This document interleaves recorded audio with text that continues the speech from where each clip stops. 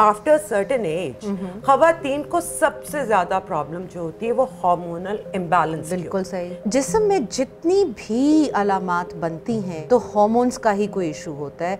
Be it at an early age be it at a later age I am turning 59 very soon I am 51 and I am menopaused okay so am i yeah I would hardly believe कि हमारे इस area में इस reason में शायद ही कोई family हो जहाँ पे डायबिटिक मरीज़ नहीं है। इनफैक्ट बच्चों को भी अब तो बच्चों को भी होती है और बच्चों